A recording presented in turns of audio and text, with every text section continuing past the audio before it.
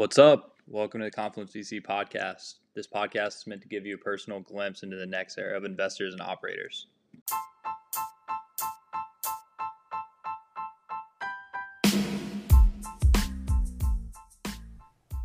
This week we had on Cheryl Campos, who works as head of venture growth and partnerships at Republic. For those that aren't familiar, Republic allows for both accredited and non accredited investors to invest directly in startups through their platform. In this talk, we asked Cheryl about her multiple talents outside of her day job, her roles as an investment partner with the Community Fund, and as a scout with Lightspeed, how Republic is democratizing access into vetted startups, and the benefits of investing in underrepresented founders.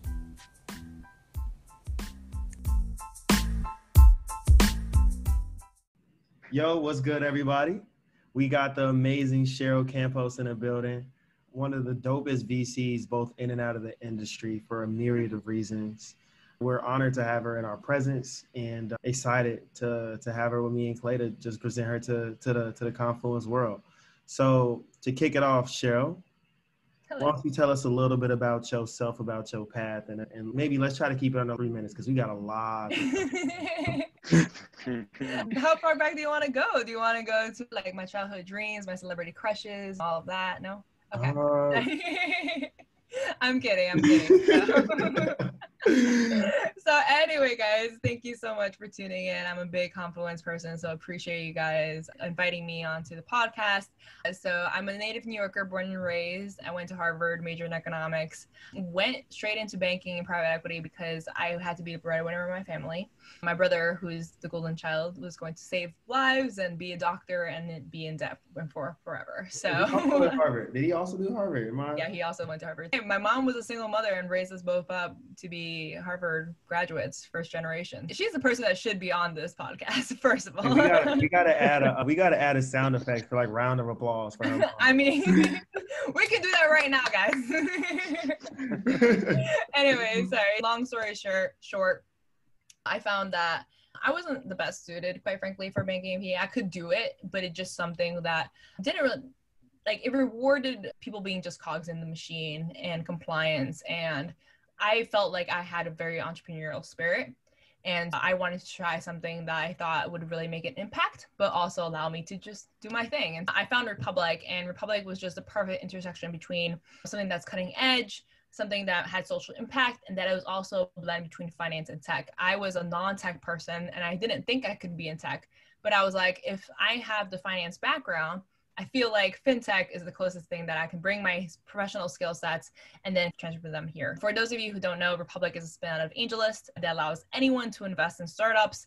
Previously, just for professional VCs and for accredited investors. And now we vet startups on our platform and you can invest as little as $50. It's incredibly inspiring because democratizing access to both fundraising and investing is key. 40% of our startups are led by women, 20% are Black and Latinx, and they hail from over 30 states. Another sound effect for a round of applause, real quick. Yeah, exactly. So I'm so excited to be in my second year there now as head of venture growth and partnerships and besides so how that many times did you get promoted at this place i i think that that's also something to note this is my fourth promotion, so uh, we move pretty fast here. I think, and I think what's awesome about tech is too is that if you work hard, if you grind, and especially if you basically take the investment banking hours and you apply them to tech, you can get very far. And besides that, however, I also am a scout for Lightspeed, which has just been an incredible experience so far, where I'm focused on companies that improve people's lives and well-being and uh, specifically Femtech and Silvertech. And I'm also now an investment partner for the Community Fund, which is a $5 million fund backed by Flybridge that brings together 10 investment partners to invest in companies that are community focused. So, yeah. Companies, by the way. Sorry? Uh, you want some dope companies, by the way.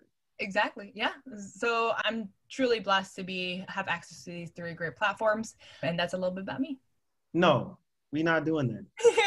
I said that you were interested in venture and out of venture, and it's very clear that you just left out the whole. Tyler, what you have against me? the, the, the the fact that you are in the art world as well. Mm. Yeah, drop those two bombs. I mean, this is this is a first exclusive, by the way. I guess if you guys want to put that in the podcast, but I'm officially announcing, I guess, that I'm a signed model in New York City, and I just did a, a killer one that gets Fashion Week. Come on. yes, I've done Fashion Week. I've done both men's and women's Fashion Week. Fun fact. That got covered in the New York Times paper, WWD. I also did a campaign for Tom Ford. And not only do I get to invest in femtech, but I also get to model for them. So I just uh, did a holiday campaign for Thinx. And yeah, this it's been great to work with brands that I used to buy from like Macy's and just have that experience uh, to be creative really in the field that's not necessarily VC uh, tech and all that. And what else are you leaving out? what? What? What? Because I heard, I seen you on a TV. I seen you on HBO. I thought. Oh, oh, there's that too. Why?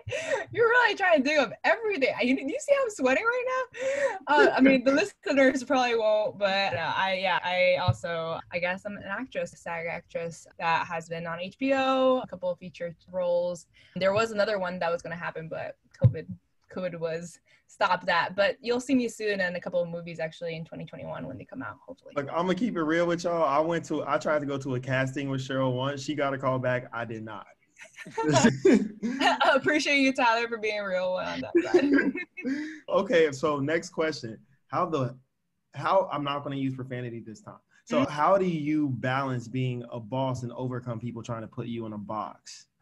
Uh yeah. I so earlier in my career, right, when I was just trying to fit in, quite frankly, especially coming out of a machine like Harvard that just wants everyone to go into investment banking or consulting, it, it was it took a while for me to figure out that this wasn't a thing because I really wanted it so bad to really be part of this institution that I was only Latina. I, like there's not that many minorities out there. Like it was just so incredibly, I guess, demoralizing on that side because I wanted to be my full self and I couldn't.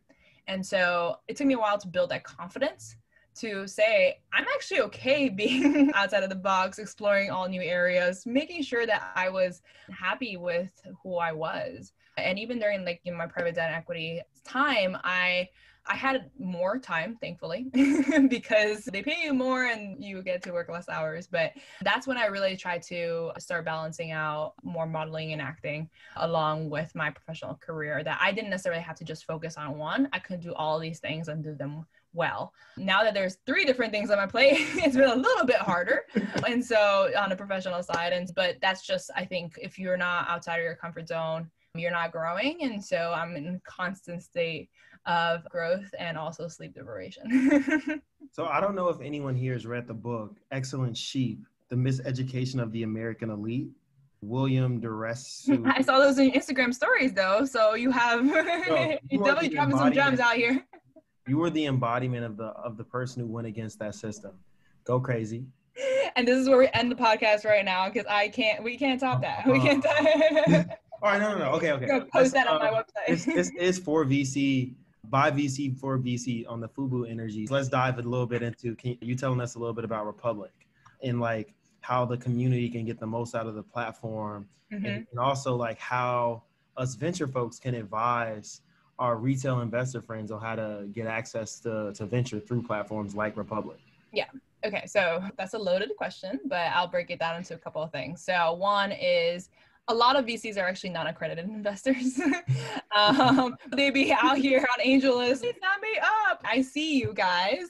In which case, you are able to start building your investor track record through Republic compliantly, legally, with as little as fifty dollars. And not only that, but you can also use this as a pool of talent where you can actually source your deals through us. And we've found out both directly and also indirectly that VCs are sourcing from Republic. it really, we focus mostly on pre-seed and seed companies, although with the SEC changes last uh, week that allow us to raise from 1 million to 5 million starting in 2021, that will probably change to pre-seed all the way servicing through Series C companies, C or D.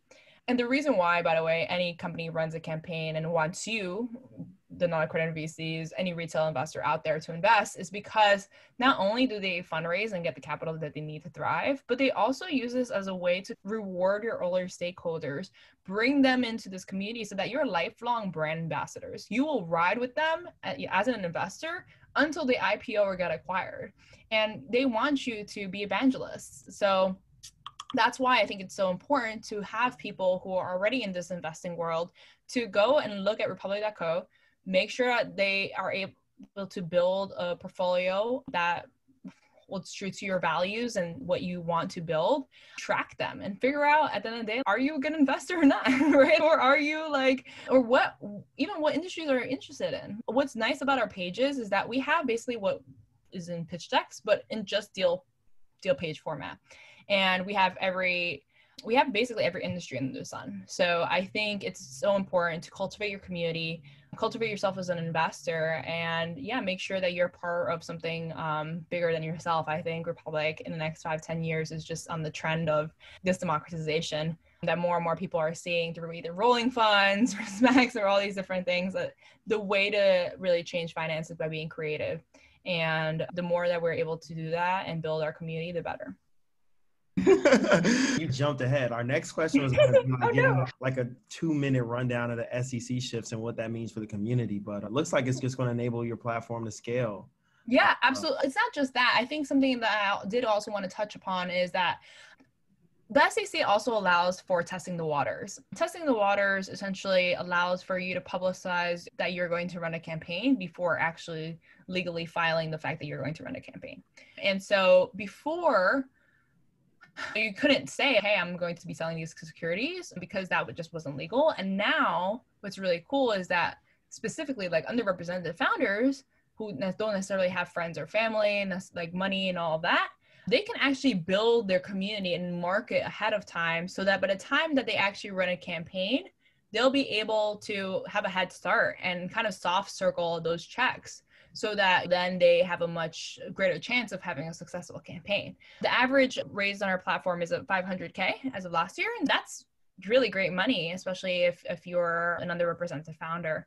And so I think this will really be game changing for them to make sure that they're getting the money when they need it. Mhm. I love that. Yay. Um, Support underrepresented founders, guys. Partner with the Republic. Love us. Make a better way to phrase it: make some money. also, Underrepresented founders go hard. also very true. It is a smart decision and your fiduciary duty, y'all. So you got to tell us about the community fund and the Lightspeed Scout program. You're you hooping on us with those too. Break it down. we could talk for so long. And so for the Lightspeed Scout program, I'm just I'm truly blessed to have been selected as part of this inaugural cohort of amazing black and brown folk who they're betting on the fact that will be the future of VC and investing. And they essentially give you about a quarter million to invest in companies that fit your thesis. As I mentioned, my thesis is company that improve people's lives and well-being, specifically femtech and silver tech. Both of those are considered quote unquote niches, and are, that's absolutely not true.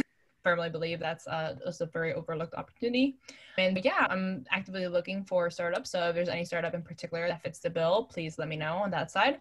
And then on the community fund side, as I mentioned, we're able to deploy out of this $5 million fund, 50K checks into startups that are focused on community and are essentially community. And that's is like they are creating a sales and marketing flywheel that will continue to uh, spur their growth because the whole thesis around that is that as technologies converge and there's fewer differentiation, sorry, less differentiation, what's really going to set companies apart are the people around them, the passionate creators, users, customers, all of that, that will allow them to have a defensible moat.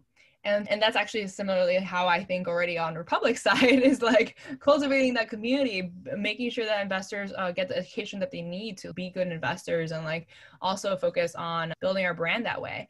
And so ties in the community fund, Republic and Lightspeed all tie in nicely with what I'm doing already, which is not only working with VCs, accelerators, but also supporting founders along the way that might be overlooked. Those are the two other direct investing roles that I have. True. Clay, you wanna you wanna kick us off with the 10 minute quick session? Yeah. So, show at the end of these, we do these quick questions. We have a list of five questions, all meant to be answered in two sentences or less. I didn't realize that two sentence. Okay. Yeah, like all right, if, it, if Maybe it's four and a half. yeah, we're like we're pretty forgiving on length. We've had some that have lasted. Yeah, we've had some that have lasted way longer. The goal is two sentences or less. So, first question we have is what are, is a recommendation you hear regularly that you think is bad advice?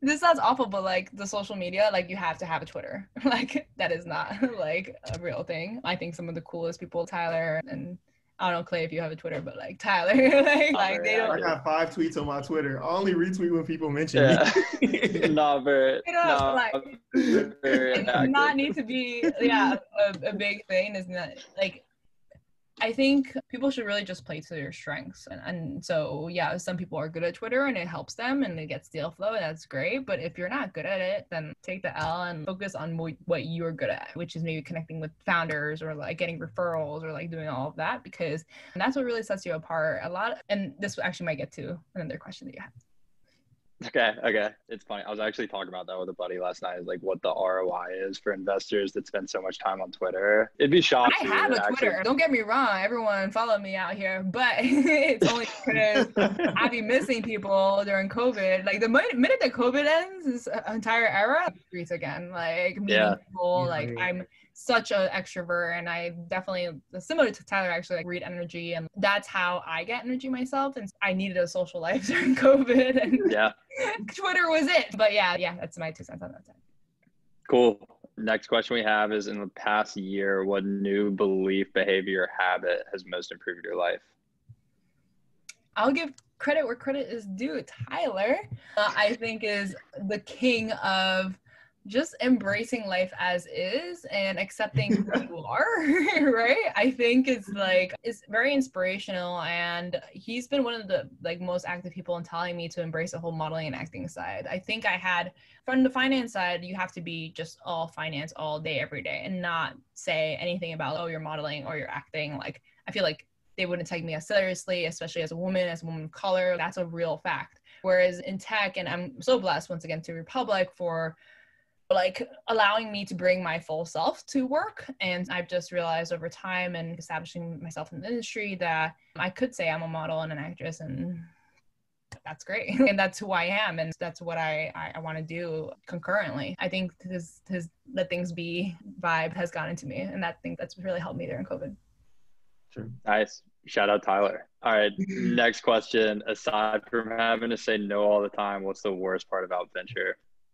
This is what I was referring to prior. I think the smoke and mirrors is just terrible out here. A lot of people saying that they do stuff when they really don't. Like, I think Tyler is one of my fans because he knows I have the receipts. like he knows, like I have the picture, I have the stuff. Like I have all these things that I do, and and I generally like to real G's movement science like lasagna. So I generally not say those things, but he pulls that on me. Whereas a lot of times in VC, they will have all these titles, nothing, or they'll ha- say that they do things, but they really don't. Sometimes they'll, you know, say, oh, they fund underrepresented founders and really just waste their time, or they might not even have a fund, but they say they have a fund, and it's tiring because you don't really know who's who. All so- these rappers just have that on group like, podcast. Like all these rappers saying. Yeah, exactly. And so it's it's when you meet real ones, you definitely want to keep them close, and that, that's what uh, my policy is to have a good group of friends. Okay, we coming down to two minutes, so we got to sprint through these next. Two. Okay, 100%. play, run it. Uh, okay, okay. So one minute answer, sure. Junior VCs are those aspiring to break into venture. It's similar to what I said prior, but really just figure out what you're really interested in, play to your strengths, and then use them to meet new people. It's all about connections and not only connections, but making meaningful connections. So, like, I think being helpful to others and doing things with good intentions, I think will get you a long way. 100%. Last piece is heavy. Intention is so important. 100%. All right, last piece. Who's a mentor that you'd like to give credit to? she's a mentor actually that got me into Republic in the first place, Bianca Caban. She is basically me, just seven years older, and therefore you should definitely have her on this podcast. But she went to my rival all girls high school, and then she went to Harvard. She also did Barclays, and she's just been in all like all out inspiration and I cannot thank her enough for giving me the confidence to even apply to Republic and, and teach me her ways and partnerships and life. And I think I've had really bad mentors too, especially other Latina mentors, right? Good. Not all kinfolk is kinfolk, right? For sure. And I learned learned that the hard, hard way. But she's one that I will be forever uh, grateful to have her friendship and mentorship and sponsorship, which is different. Last one is who do you want to hear on this podcast outside of the person you just mentioned who sounds magnificent? Right? I was like, why am I giving you two? I don't know. Like, you know what I mean? You don't ask, you don't receive. We need it all. I just gave. Who else would be awesome? Wait, did someone recommend me? Is that one? No one did. No one touched me. You're one of my favorite people, so okay. I had to. I get you on here eventually. I know. No, I think who would be great. Starting to think of right now. Oh, one of the low people who are like floating on the radar, but I really is uh Kofi Ampadu. I don't know if you know him from SKU he is such a G when it comes to consumer and does not promote himself enough. and quite frankly, he's one of the 14. Uh, I did write an article around 14 emerging Black and Brown fund managers that have at least some commitments already in their fund. So they're on their way to supporting founders. And he's one of the guys that I think would be really good. Another actually guy actually is, is Marcos from Vamos Ventures. He's been hustling. He's one of the he's been hustling to raise his fund to fully just solely fund Latino uh, Latinx entrepreneurs, and he's just incredible. And he's a rock star, and he's gonna go a long way. And I'm just those two, I think, would be uh, really great uh, podcast folks. Let's make it happen then. Look, I know we're we're already a minute and a half over, uh, and I know you probably got you probably got a lot on your plate today, balancing three top one percenter roles we gonna let you bounce and just send you a ton of praise and love through the airwaves. Thank you for coming. Ooh, I, I feel it already. Oh, got it. Sending it back, guys. Thank you so much for having me. Uh, have a wonderful rest of your day. Bye. Peace.